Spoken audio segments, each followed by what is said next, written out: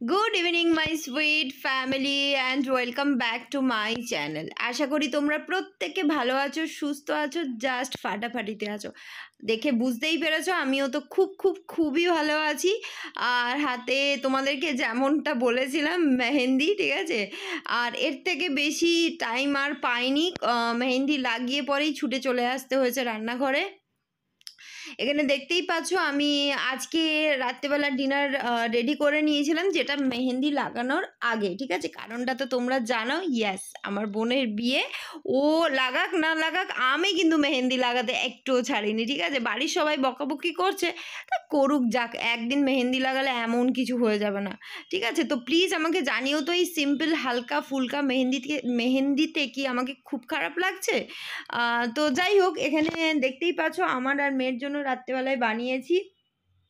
এটাও একটা সিক্রেট আছে। দু চার পিস চিকেন বেঁচেছিল, সেই চিকেন দিয়ে বানিয়ে দিয়েছি এখানে চিকেন তড়কা ঠিক আছে? আর এখানে দেখতেই পাচ্ছ রুমে এখনও পর্যন্ত আমার প্রিপারেশন ডান নয়। এই সমস্ত কিছু এনে এখানে রেখেছি, যেটা তোমার ট্রলিটা এনে রেখেছি, যেটার ভেতর জামা কাপড় ঢোকানো হবে, জুতো ঢোকানো হবে ম্যাচিং ঠিক আছে? অনেক অনেক অনেক কাজ। তো চলো তার আগে একটুখানি মেয়েকে খেতে দিয়ে আসি। দেখতেই পাচ্ছ এখানে মেয়ের অলরেডি খেতে বস মানে মেয়ে অলরেডি খেতে বসে গেছে।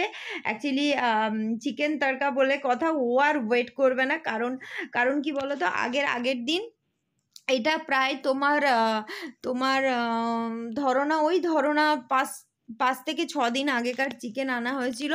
তার থেকে দু চার পিস রেখে দেওয়া হয়েছিল। সেটা দিয়েই ভাবলাম আজকে চিকেন তড়কা বানিয়ে নিই। তো এই আর সমস্ত কিছু আমি গুছিয়ে সুচিয়ে রেখেছি যেগুলো এখন ট্রলি ব্যাগে ভরা হবে। তো চলো ট্রলি ব্যাগে ভরে একদম সকালবেলা আবার তোমাদের সাথে কমপ্লিট নয়। গোছানো গুছানি এখনও পর্যন্ত কমপ্লিট নয়। অ্যাকচুয়ালি এ ছাড়াও তো আরও অনেক বাড়ির কাজ থাকে ঠিক আছে? তো মা স্নান করতে যাচ্ছ? আমি বেরিয়ে যাব। হ্যাঁ তো যাই হোক পুতুলি গেছে এখন স্নান করতে। আমরা জাস্ট তিনটে তিনটে ট্রেনটা ধরবো। সেই জন্য মা তাড়াহুড়ো করে রান্না বান্না বসিয়ে দিয়েছে। আমি সকালবেলার থেকে উঠে কিছু করে নিয়েছি। অ্যাকচুয়ালি সকাল থেকে যেতে পারলে খুব ভালো হতো। তোমরা তো যেমনটা জানো যে যেতে আহ, মানে যেতে পারছি সেটাই আমার কাছে অনেক বড় ব্যাপার। অ্যাকচুয়ালি বাবার শরীর ভালো নয়। বাবাকে একা বাড়িতে রেখে বেরোনোটা ঠিক নয়। ঠিক আছে? তো তাও বাবা বলল ওই বিকেল থেকে রাতটুকু একটু ম্যানেজ করা যাবে, ঠিক আছে? তো সেই জন্যই যাচ্ছি। আর মা কোনোভাবেই রাজি নয় যা মানে যেতে। মায়ের বোনরা, বোন, দিদি যারা আছেন তারা বারবার মাকে ফোন করছে। তো সেই জন্য মাকে ধরে বেঁধে নিয়েই যাওয়া হচ্ছে, এরকম একটা ব্যাপার। তো কি কিনেছি, না কিনেছি, ওর জন্য কিছুই তোমাদের সাথে শেয়ার করিনি। পারলে শেয়ার করে দেবো। তো দেখো, কালকে রাত্রিবেলা এইটুকু পর্যন্ত করতে টাইম পেয়েছিলাম। আজকে সকালবেলাতে উঠে এই যে এখনও পর্যন্ত নেল পলিশ লাগাইনি। জানি খুব বাজে মেহেন্দি হয়েছে, এর থেকে ডিজাইন করার মতো ধৈর্য আর সময় কোনোটাই নেই। আমার মা তো ভীষণ রেগে গেছে, ঠিক আছে? যে কেন এরকম হাতটাকে জাবড়েছিস? এমনি নর্মালি হাত ছিল, কত সুন্দর ছিল। তো যাই হোক কিছু করার নেই। এখন ঘড়িতে মোটামুটি সাড়ে দশটা বাজে, আমি বেরিয়ে পড়েছি। কোনো রকম মানে চুলটাও আঁচড়ায়নি কোনো রকম স্নানটা করেছি। এখন যাব পার্লারে। আর ফুলটা আনতে যাব, এখান থেকেই ফুলটা নিয়ে যাব, কারণ ওখানে গেলে কাকে পাবো না পাবো সবাই ব্যস্ত থাকবে, সেই কারণে ফুলটা এখান থেকে নিয়ে যাব। আর চুলে যাব ক্রিম্পিং করাতে। সবটা শেয়ার করব। তো এখন থেকে যে ব্লগগুলো, তিন চারটে ব্লগ আসবে, তিনটে তিনটে ব্লগ আসবে, এরপর থেকে ধামাকাদার ফাটাফাটি ব্লগ আসবে। তাও তো আমি সকাল থেকে যেতে পারলাম না, সকাল থেকে হলদি হ্যাঁ হেন তেন কালকে ব্যাচেলার পার্টি হয়ে গেছে, যেখানে আমি আমি যেতে পারিনি, ঠিক আছে? ব্যাচেলার পার্টি হয়েছিল, খুব মাস্তি হয়েছে বাট কিছু করার নেই, সবার আগে মা, বাবা, ঠিক আছে? তাদেরকে ছেড়ে দিয়ে কোনো রকম কোনো আনন্দ ফুর্তি করতে আমি চাই না। তো যাই হোক, চলো চুলে ক্রিম্পিংটা করে আসি, দিয়ে ফুলটা নিয়ে আসব, আর টুকটাক কিছু জিনিসপত্র নেওয়ার আছে, নিয়ে বাড়ি ফেরত আসতে হবে এক ঘণ্টার মধ্যে। তো চলো আগে বেরিয়ে পড়ি, তারপর বাকি কথা হবে। তো এখন মোটামুটি ঘড়িতে বেজে গিয়েছে, মোটামুটি তোমার পৌনে একটা মতো বাজে, ঠিক আছে? আমি পার্লারে গেছিলাম, দিয়ে পরে চুলটাকে ক্রিম্পিং করে এসেছি।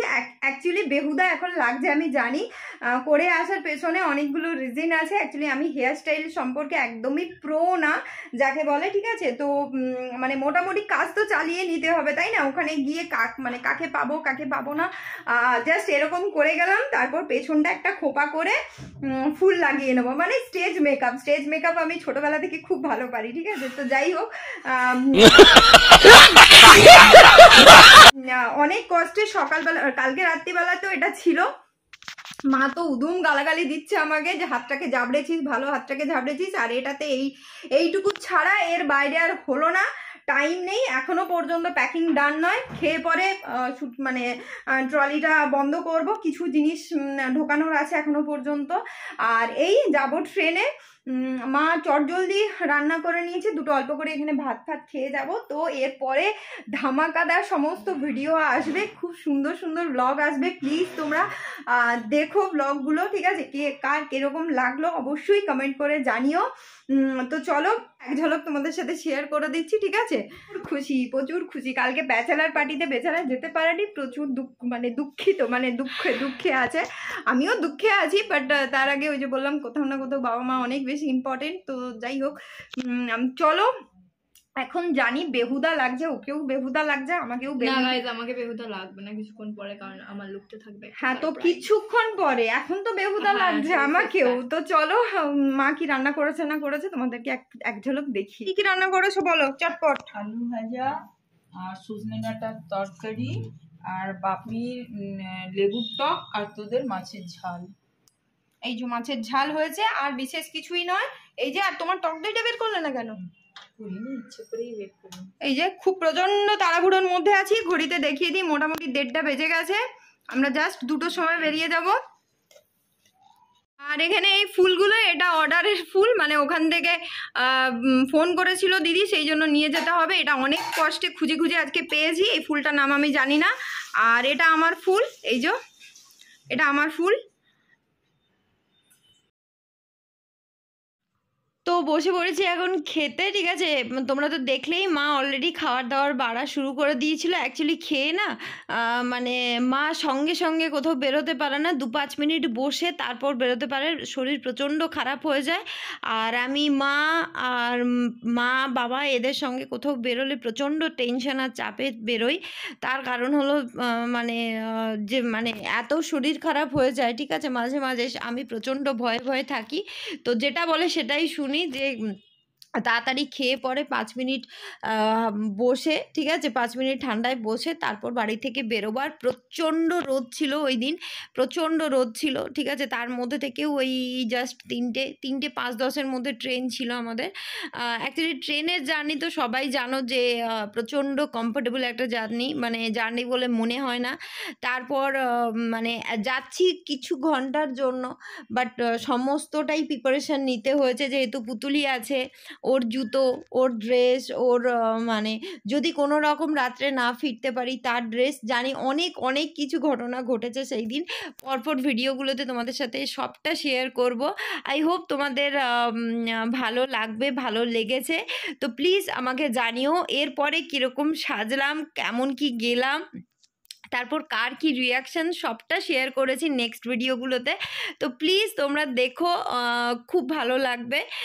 তো চলো আজকের এই ভিডিওটা আর বেশি বাড়াচ্ছি না। তারা প্রচণ্ড তাড়াহুড়োর মধ্যে আছি, দেখতেই পাচ্ছ, তাড়াহুড়ো করে খেয়ে পরে আমরা বেরিয়ে যাব, ঠিক আছে? আর সমস্ত গোছানো একদম ডান ঠিক আছে? আমার ভাই তো অলরেডি কাল কাল থেকে চলে গেছে ওখানে, ওখান থেকে বারবার মাকে ফোন করছে, তাড়াতাড়ি আসো তাড়াতাড়ি আসো তাড়াতাড়ি আসো। ওই সাংসারিক মানুষ হলে যা হয় এটা, সেটা, ওটা করতে করতেই টাইম শেষ। তো যাই হোক, এখানে পুতুলিকে প্রচণ্ড বকাবকিও করছি আমি খেতে বসে। ঠিক আছে, এটা খাব না, সেটা খাব না, ওটা খাব না করছে।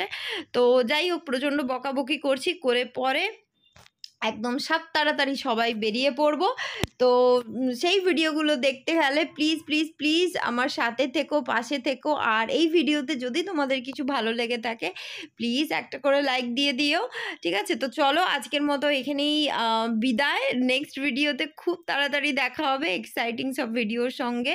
তো ততক্ষণের জন্য তোমরা ভালো থেকো, সুস্থ থেকো, প্রত্যেকে জাস্ট বিন্দাস থেকো।